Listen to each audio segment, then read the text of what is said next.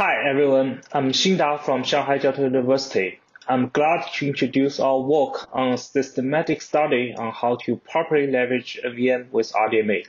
This is a joint work with my colleague Xiating and my advisors Long, Haibo, and Binyu. Remote persistent memory is the key building block in modern data center systems, including distributed file system and distributed database.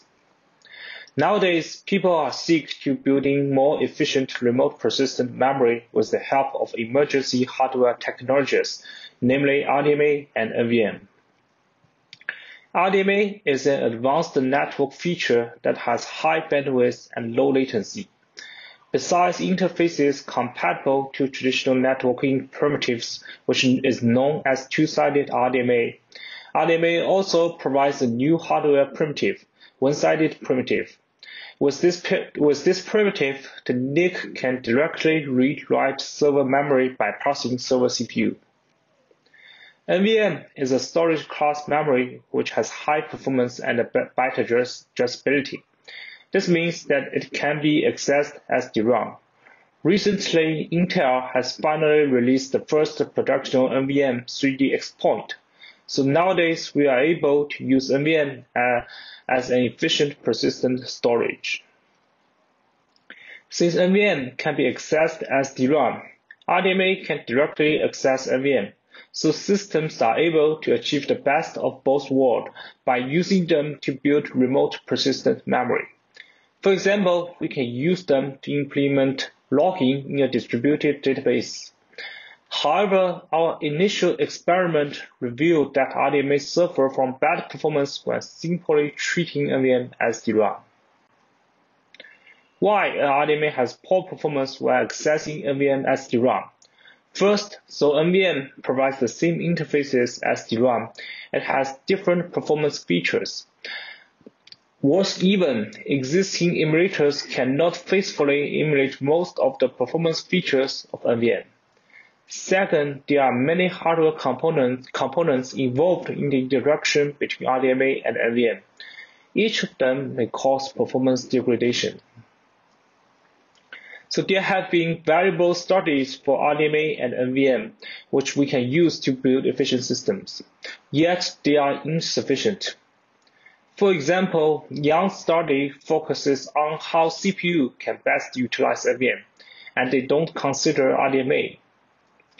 Kalia study studied the challenges when using RDMA to access NVM, and their focuses are on impact of processor cache. Intel provides white papers for developers to correctly program RDMA with a VM, yet they don't focus on performance features of production NVM.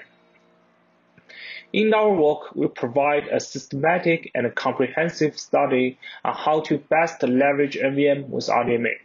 We collect and study various related optimizations from different sources and empirically analyze their impacts to RDMA and NVM systems. We also propose new optimizations. The study summarizes nine optimization hints. Based on our summarized hints, we optimize two existing RDMA NVM systems, one distributed database and one distributed file system. Both systems are designed when no production NVM is available, and neither of them achieve good performance on it. Our optimized systems can achieve up to two times better performance.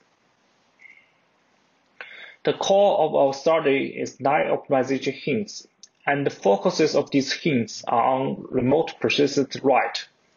As we can see, reading NVM with RDMA has close performance to DRAM because NVM has asymmetric read-write performance features. On the other hand, writes are not, and we know that there are room for improvements because we can see in the figure in this slide, uh, the performance of, of it is, far, is still far from the hardware limit of RDMA or NVM. So for, for the nine optimization hints, we characterize them into three cat categories. The first is configuration related optimizations. The second is access pattern related hints. And the third is RDMA aware hints.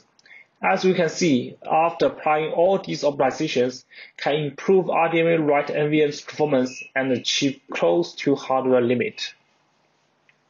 So we will start with the configuration optimization hints. The configuration optimizations are from existing studies. Among them, one particularly important one is X3, which is, is discovered in a prior study. It is, a, it is further a unique configuration features for RDMA and NVM. In short, uh, DDIO configure the endpoint of RDMA write. With DDIO enabled, RDMA directly writes to the processor cache. Otherwise, RDMA writes to the NVM. Since the data in the processor cache is flushed to NVM in a random way, and NVM has poor random write performance compared to the sequential write, one-sided RDMA NVM write cannot saturate RDMA's NVM peak bandwidth with DDIO enabled. So when applications want to saturate NVM bandwidth with one-sided RDMA, they should configure DDIO to be disabled. Next, we examine access pattern related optimizations. Among them, H4 and H5 are from an existing CPU-specific NVM study.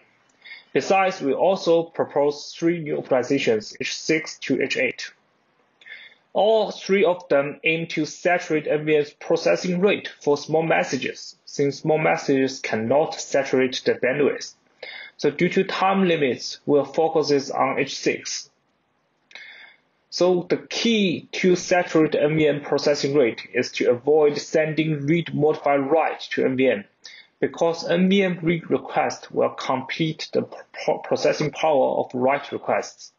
For one-sided RDMA, it issues read modify write with PCIe partial write, which means that the payload does not fit into 64-byte granularity.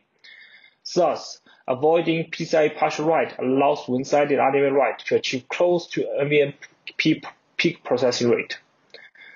So an RDMA NVM system should access small payloads in 64-byte granularity. Finally, we discuss how to use existing RDMA-aware optimizations to op optimize common use cases in RDMA NVM systems. Currently, since the RDMA hardware is not designed for NVM, one-sided RDMA requires two network round trips to finish a persistent write. However, by leveraging the hardware properties and the broadly explored RDMA-aware optimizations in the literature, we can use one round trip time to finish one persistent write optimization, uh, to, to finish one persistent write operation without any hardware extension. Specifically, we can apply the following known optimizations, double batching and outstanding requests. The reader can refer to these sources if you have interests. Finally, we present how to use the optimization hints to optimize existing RDMA NVM systems. In, the, in this talk, we will focus on the uh, distributed database. Uh, DrTM plus H is a distributed database designed for RDMA and NVM. It has not optimized for uh, production NVM because uh, when it's designed, there's no real NVM available. We applied the following nine optimizations to it according to the nine optimizations summarized in our study. For example, to avoid cross-socket access, we use a partition store approach in it. So the results show that all these optimizations can effectively improve its performance on the productional NVM. We also use a factor analysis to analyze the impact of different optimizations. We can see that not all optimizations are beneficial.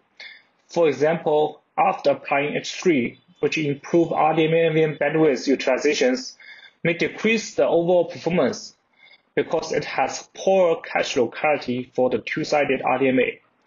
And in this SmallBank workload, uh, the performance is not bottlenecked by the NVM bandwidth.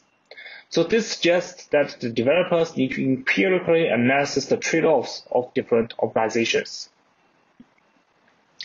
In summary, uh, this paper summarizes nine optimization hints for system developers to better leverage RDMA with NVM. Based on our study, we also provide several suggestions to future hardware designers. For example, existing RDMA NVM hardware extensions focuses on adding more functions to, to the hardware. For example, providing an RDMA primitive for, for one round trip persistent write. We believe that hardware designers should also consider primitives for better performance. For example, CPU has a non-temporal store instruction to bypass the processor cache. Since the bypassing the processor cache is also important for RDMA, RDMA can provide a similar primitive uh, to bypass the configuration of DDIO. Since we have shown that currently uh, uh, tuning the DDIO configuration may have a false performance impact to other workloads. So in so giving a non-temporal RDMA one-side write uh, may gr uh, greatly improve the system developers' flexibility when using RDMA and NVM with other applications. In conclusion, designing high-performance RDMA NVM system requires a clear understanding of how RDMA access NVM. This paper gives, gives a systematic study to summarize how to achieve them. We believe that there are also room for improvements for systems that are especially not designed for the production of NVM. Thanks for listening.